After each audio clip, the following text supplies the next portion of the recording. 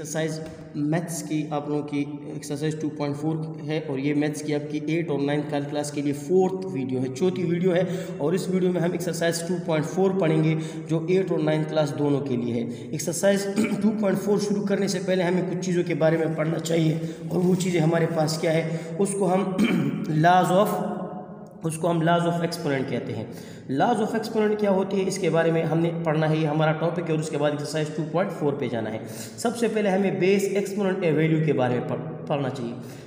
अगर एन हम if N is a positive integer A N represent the product of N factor of each A मतलब ये कि N हमारे पास positive number है या कोई पॉजिटिव इंटीजर है तो ए जो है, ये ए जो है, ये इस मतलब product of N N factor of each A हमारे पास एन टाइम्स या इसका मतलब है कि A power N represent the product of N times of A for example जब आप ए को एन टाइम्स मल्टीप्लाई करते हैं तो इसका आंसर हमारे पास A power N for example A power four का मतलब होता है A A A four times of A if A N if A power N A is called base A ये ए जो है, इसको हम बेस बोलते हैं and N is called exponent और वैल्यू क्या होता है? वैल्यू के लिए हम ये एग्जांपल देखते हैं.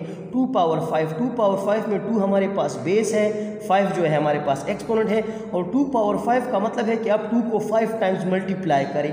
मीन जब आप टू को two multiply two multiply two multiply two multiply two करते हैं। टू टू ज़ा फोर फोर टू ज़ा एट एट टू ज़ा सिक्सटीन सिक्सटीन टू ज़ा थर्टी टू तो हमारे पास two power five thirty two आ जाता है। और ये थर्टी टू जो है, ये हमारे पास इसकी वैल्यू कहलाती है। टू जो है, हमारे पास बेस है फाइव हमारे पास एक्सपोनेंट है। थर्टी टू जो है, ये हमारे पास इसकी वैल्यू कहलाती है। अब इसके बाद हम चले जाते हैं। हमारे पास आ जाता है laws of exponent laws of exponent में सबसे पहले मल्टीप्लिकेशन ला है। मल्टीप्लिकेशन ला हमें ये बताता है कि अगर दो चीज़ों का बेस सेम हो और उसके दरमियान मल्टीप्लिकेशन हो तो उसके एक्सपोनेंट प्लस हो जाते हैं। आप इसमें ऐड हो जाते हैं। For example A power M dot का मतलब मल्टीप्लिकेशन है। ए पावर एन चूँकि बेसिस सेम है तो पावर आप इसमें ऐड हो जाएँगे। तो ये A power M plus N for example three power five multiply R dot three power two R square is equal to तो बाय मल्टीप्लिकेशन ला हमारे पास पावर जो है ऐड हो जाएँगे तो फाइव प्लस टू तो इसकी इसकी ये जो बराबर जो थी थ्री पावर सेवन इसी तरह हमारे पास डिवीज़न ला है डिवीज़न ला हमें ये बताता है कि अगर दो वैल्यू के बेसिस सेम हो और उनके दरमियान डिवीज़न हो तो उनके पावर जो है वो एक दूसरे से सब्ट्रैक्ट होते हैं। For example A power M divide by A power N तो ये पावर ए पावर एन जो है ये ऊपर चला जाएगा इससे सब्ट्रैक्ट हो जाएगा तो A power M minus N बच जाए। इसी तरह five power eight divide by five power three is equal to five power eight minus three equal to five power five power law of exponent क्या कहलाता है? पावर लॉ ऑफ़ एक्सपोनेंट हमें ये कहते हैं कि अगर A power M whole power N आ जाए, अगर एक वैल्यू है और उसके उसके ऊपर पावर है उसका फिर होल पावर ले जाए तो इनकी ये दोनों पावर आपस में मल्टीप्लाई हो जाते हैं। A power M whole N is equal to M for example five power three whole two is equal to five power या इसका मतलब हमारे पास ये होता है कि five power three whole square बराबर हो जाता है।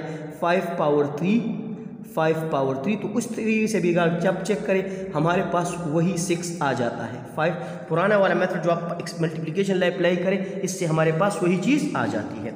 अब हमारे पास इसमें एक और चीज़ भी है, इस तरह भी हो सकता है कि अगर दो चीज़ें दो चीज़ें हमारे साथ प्रोडक्ट में हो और उसके ऊपर पावर हो तो वो पावर अलहदा अलहदा दोनों पे अप्लाई हो सकता है। A power M divide by B power N इसी तरह अगर दो चीज़ें आपके पास डिवीज़न में हो और उसके ऊपर होल पावर है तो पावर दोनों के लिए होगा A power M divide by B power N zero exponent zero exponent का मतलब ये है कि किसी भी चीज़ का एक्सपोनेंट ज़ीरो हो जाए. For example X power zero किसी भी चीज़ का ten power zero thousand power zero वो हमारे पास वन के any power anything power zero anything exponent zero is equal to one X power zero one A power zero one ten power zero one five power जो भी value हो, उसका power आपके पास zero हो जाए, वो वन के बराबर नेगेटिव एक्सपोनेंट नेगेटिव एक्सपोनेंट ये है कि if X power minus four इसको हम लिख सकते हैं one by X power four और फाइव पावर माइनस टू इसको हम वन बाई फाइव स्क्वायर लिख सकते हैं। इसी तरह one by three power two is equal to three power minus two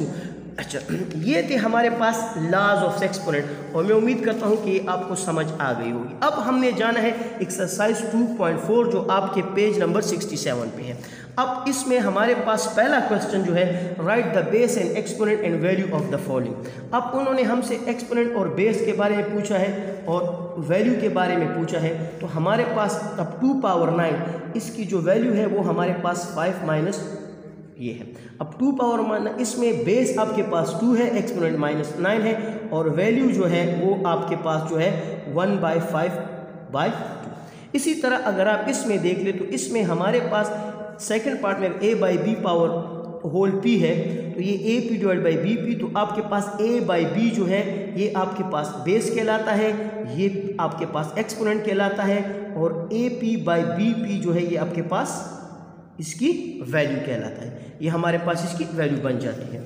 इसी तरह इसका थर्ड पार्ट है माइनस फोर होल स्क्वायर तो ये minus four whole square is equal to इसमें माइनस फोर जो है ये बेस है टू जो है ये एक्सपोनेंट है और वैल्यू जो है वो आपके पास आ जाती है सिक्सटीन ये जो इसकी हमारे पास value if A E B D note the real number then simplify the following अब चूँकि हमने, हमें क्वेश्चन नंबर टू है, उसका पार्ट वन है, उसमें कहते हैं कि अगर ए और बी रियल नंबर है तो आप फॉलोइंग को सिंप्लीफाई इसको हम सिंप्लीफाई करेंगे। A power three multiplied A power five solution में आएगा A power three multiplied A power five by law of exponent already मैं एक्सप्लेन कर चुका हूँ कि हमारे पास लॉ ऑफ़ एक्सपोनेंट है कि X power M multiplied X power N is equal to जब बेसिस सेम होंगे और दरमियान में मल्टीप्लीकेशन होगा तो पावर्स क्या होंगे? ऐड होंगे। इस लॉ के मुताबिक चूँकि इन दोनों के बेसिस सेम है तो इनका जो हमारे पास पावर्स हैं, वो आप इसमें क्या हो जाएँगे? ऐड तो ए पावर एट इसका आंसर और ये इसका सिंप्लीफाइड फॉर्म आ गया। इसी तरह हमारे पास अगर हम देख लें, इसमें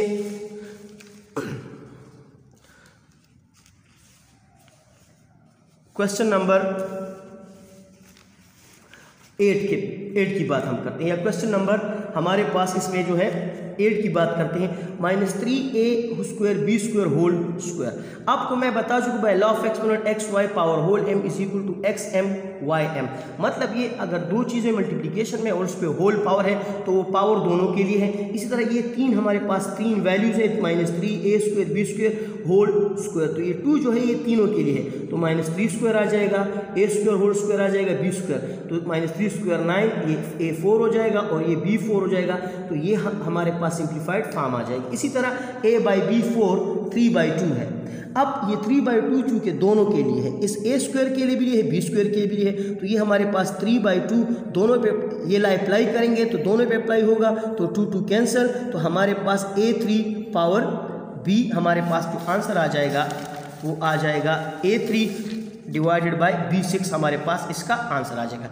अब बाकी इसके जो रिमेनिंग क्वेश्चन रह गए हैं एक्सरसाइज 2.4 में क्वेश्चन टू में जो रिमेनिंग पार्ट्स रह गए हैं, वो आप लोग खुद करेंगे, आसान है, उसमें कोई भी मुश्किल नहीं है, इसी तरह सिमिलर है। अब हम आ जाते हैं क्वेश्चन नंबर फोर पे, जो पेपर पॉइंट ऑफ़ व्यू से इस क्वेश्चन बहुत ज़्यादा इंपॉर्टेंट है पेपर में से क्वेश्चन आता, एक एक पार्ट आ जाता है। अब क्वेश्चन है two power four simplify the following हमने सिंप्लीफाई करना है two power four dot five power three ten power square इसमें सबसे पहले आपने क्या करना है कि जितने भी मल्टी मल्टी जितने भी नंबर्स हैं, आप कोशिश करें उसको सिंपल प्राइम नंबर्स में चेंज करें। मतलब प्राइम नंबर अब for example two power two already मेरे पास प्राइम में, उसको मैं चेंज नहीं कर सकता।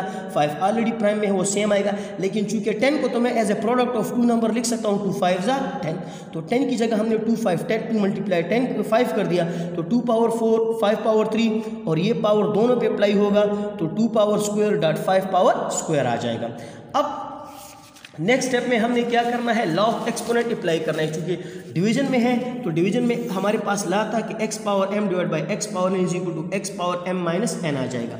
तो उसी तरह two power four minus two five power three minus two तो ये टू स्क्वायर आ जाएगा। ये फाइव टू स्क्वायर फोर के बराबर फाइव पावर वन फाइव के बराबर फोर फोर फाइव ज़ा ट्वेंटी ये इसका answer fifth root of X five and fourth root of X four है। अच्छा बाय लॉ ऑफ़ एक्सपोनेंट अब हमने क्या कर दिया? ये अप्लाई कर दिया हमने। अब एक, इस सबसे पहले हम इसको चेंज करेंगे, इस एंड स्क्वेयर रूट को ख़त्म करके वन बाई फाइव आ जाएगा। ये आप लोग ऑलरेडी पढ़ चुके हैं X power four one by four तो ये फाइव फाइव कैंसिल ये फोर फोर कैंसिल ये X power one X power one दोनों के पावर एड हो जाएँगे तो हमारे पास इसका आंसर एक्स स्क्वायर आ जाएगा। अच्छा। इसके बाद है question number three third A plus B whole square brack C plus D whole cube A plus B C plus D whole square whole cube सबसे पहले हमने ये थ्री पावर चूँकि, ये होल है तो ऊपर भी अप्लाई हो जाएगा, नीचे भी अप्लाई हो जाएगा।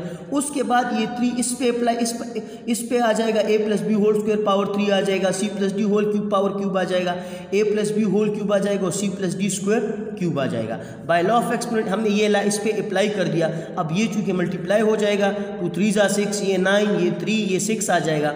फिर बाय लॉ ऑफ़ एक्सपोनेंट चूँकि हमारे पास ये दोनों के बेसिस सेम है तो ये थ्री ऊपर चला जाएगा सब्ट्रैक्ट हो जाएगा। इन दोनों के बेसिस सेम है, ये सिक्स ऊपर चला जाएगा सब्ट्रैक्ट हो जाएगा। तो हमारे पास ये सब्ट्रैक्ट होने के बाद हमारे पास जो आंसर आ जाएगा A plus B whole cube C plus D whole cube ये इसका सिंप्लीफाइड और आंसर आ जाएगा।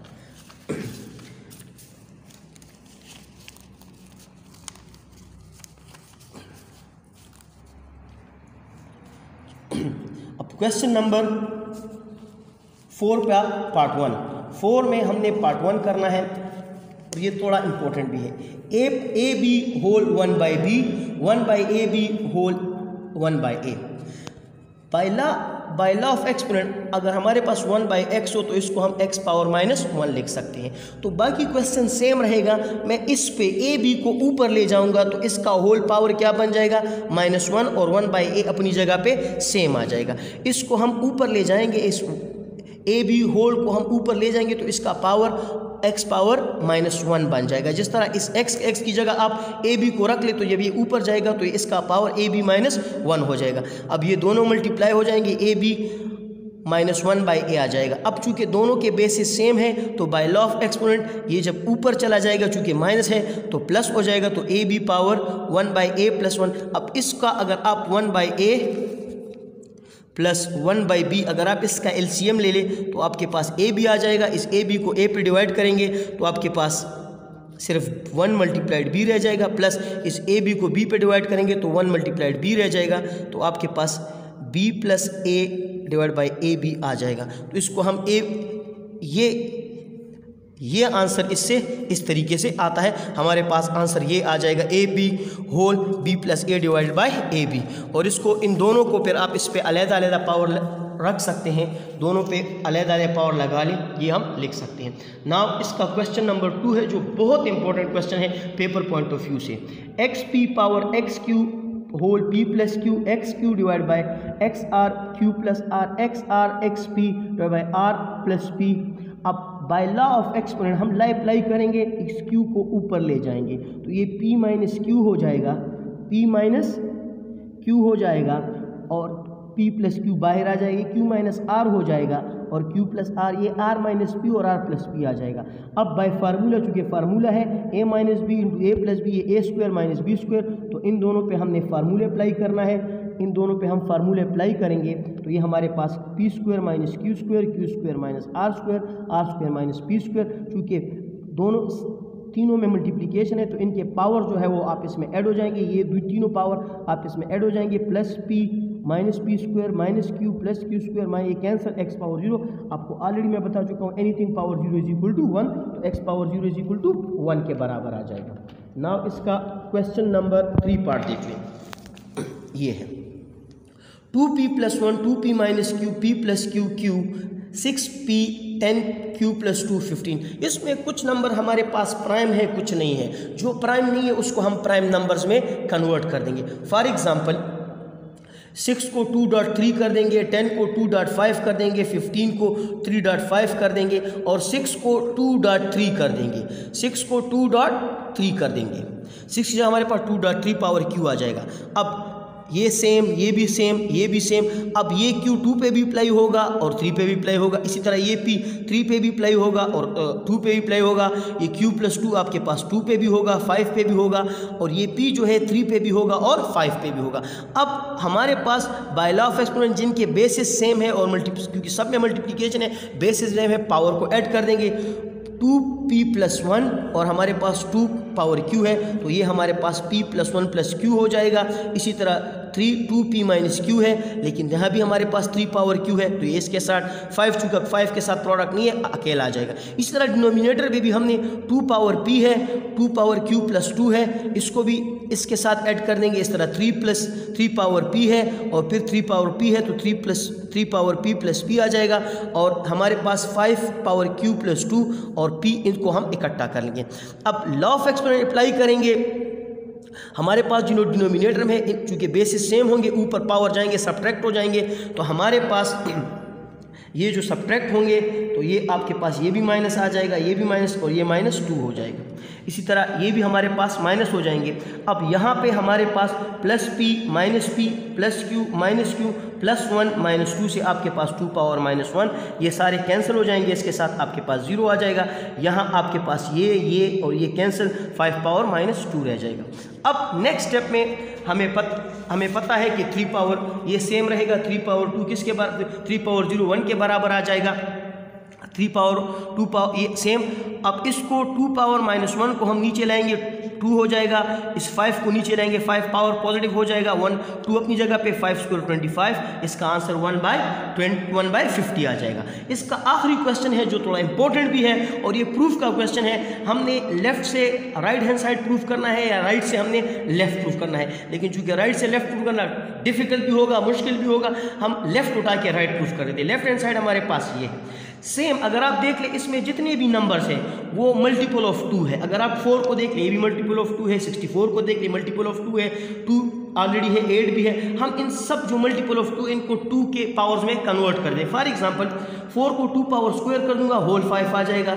सिक्सटी फोर को अगर आप देख लें उसको अगर आपको टू सिक्स टाइम मल्टीप्लाई करें सिक्सटी फोर आता है तो सिक्सटी फोर की जगह टू पावर सिक्स आ जाएगा। और होल क्यूब इसी तरह टू क्यूब इसी तरह एट को टू पावर थ्री कर देंगे whole five one twenty eight two power seven के बराबर होता है। अगर आप टू को सेवन टाइम्स मल्टीप्लाई करें तो वन ट्वेंटी एट आ जाता है, और स्क्वायर अपनी जगह पे। टू फाइव ज़ा ten eighteen three fifteen fourteen अब लॉ ऑफ़ एक्सपोनेंट अप्लाई करेंगे चूँकि सारों का बेसिस ऊपर सेम है तो पावर ऐड हो जाएँगे। डिनोमिनेटर में भी दोनों टू है पावर क्या हो जाएँगे? ऐड हो जाएँगे।